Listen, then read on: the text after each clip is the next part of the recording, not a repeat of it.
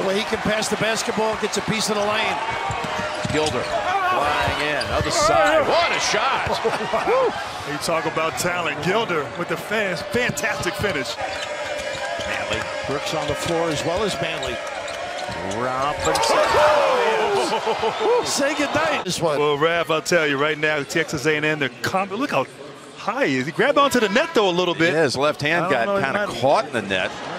That's a rebound right there. Man. Don't be tempted. Nice job with the lob. Davis, and it drops. Number two, I think, on Maye. I think you're right. On, I don't think they paid attention right now. Solid each trip. Oh, nice defense here That's by hold. Hold on. He got away from the two Tar Heel defenders for the top. Davis in there. Seven to shoot. Starks. Was there ever a doubt? No, you knew he was going to tee it up. He, he is loaded with confidence. Baseline rubs. They rub the hand up and down. Look at this beautiful stroke. Oh, goodness, right in front of us. You knew that was good. From the time it left his hand, it looked good, coach.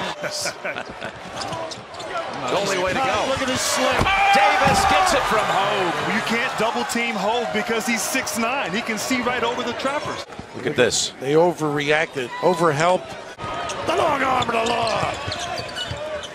Gilder top of the key. Hard to believe. 24 point lead.